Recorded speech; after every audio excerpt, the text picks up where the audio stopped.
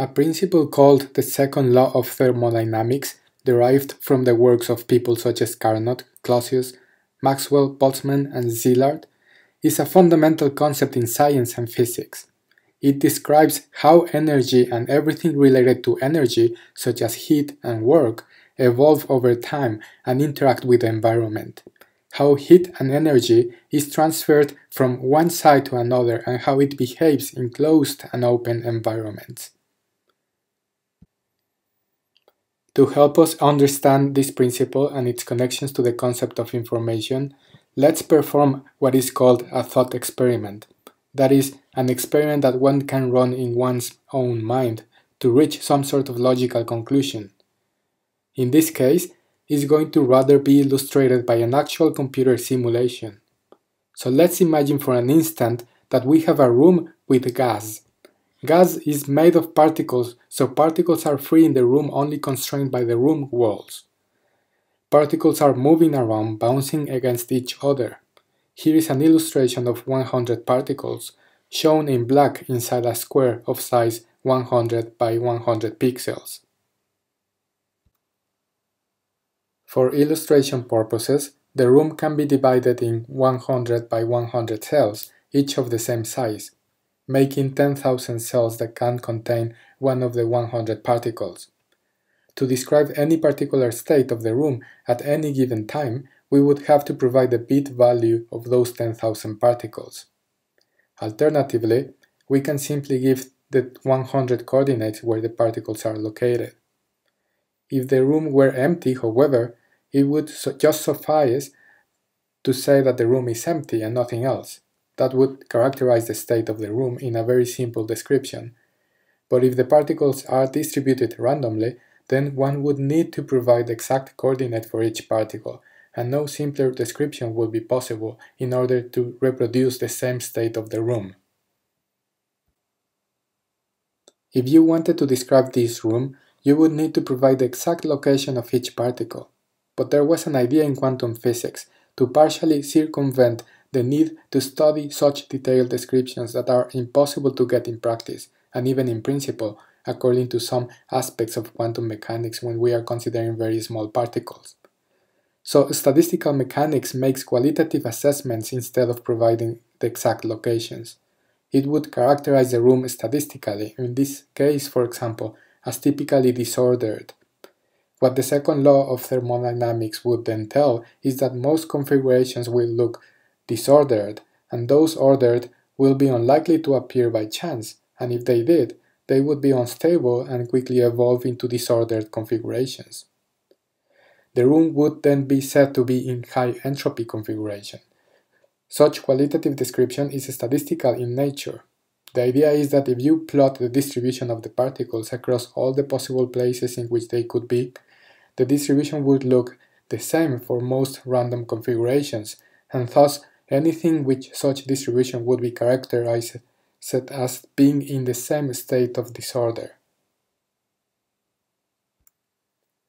So this is the way in which the distribution of the particles in our room looks like, when dividing the room into smaller square pieces of equal size. So when looking at the room in 100 places, no particular place seems to have any particular feature, meaning that particles are mostly distributed equally. The same when dividing the room into 20, 10, and only 5 places to look at, as if we were looking at the corners and center to see if there is some arrangement of the particles to notice. But basically, everything looks the same in any direction. Imagine that you were able to place the same number of particles into a smaller room. What would happen is that the same number of particles have now fewer places to be, what is called less degrees of freedom, or less cells in the square to be or to move into. So because there is less room for the particles in the new room, it can be said that the room has a lower entropy compared to the larger one, for the same number of particles but different volume or area. If one reduced the number of particles, it would also lead to less entropy, because you would need to describe less particles. So entropy is a function of at least three elements, the number of particles, the size of the space, and the number of places in which the particles can be. Imagine you pushed all particles into a smaller and smaller place in the corner of the room.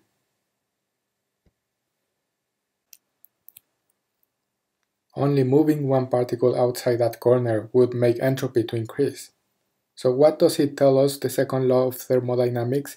It tells us that if we looked at a room with some gas particles, the chances to find the room in a disarranged or disordered state, that is of high entropy, has much greater chances because there are many of those configurations that distribute particles in the random looking distribution, compared to a particular arrangement of low entropy, like the one with all the particles in the corner.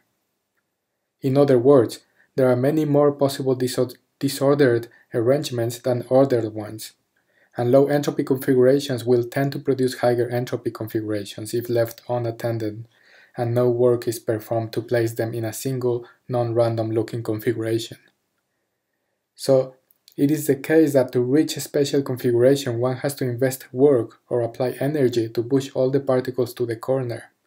Moreover, if the particles were moving at, at constant speed, by pushing them into a corner they would bounce each other with higher frequency, producing heat, that when released would naturally cool down, hence establishing a strong connection with heat and te temperature. This is why this law or guiding principle is so important, because it connects, connects most, if not all, the fundamental quantities in physics. But it is also all about information, as we saw before, as it involves knowledge about the position of the particles and ways to steer them to one side or the other. So we have connected information, on heat, this measure of disorder, entropy, and temperature. So the second law of thermodynamics tells us that, in general, because particles will tend to maximal entropy, they will also dissipate heat over time instead of gaining it. And they will eventually reach thermodynamic equilibrium by matching the environment's temperature, just as it happens with hot drinks, eventually reaching room temperature. This also means that if you disconnect your fridge, it will reach room temperature soon because of the second law of thermodynamics, even though there are chances that it can remain cold or even colder, but those chances are so incredibly small that it will almost never happen. It is right then to think of the second law of thermodynamics as a law based on probability and deeply connected to information about the specific and overall configuration of a system. The traditional way in which the second law of thermodynamics for a closed system like our room is formally written is like this.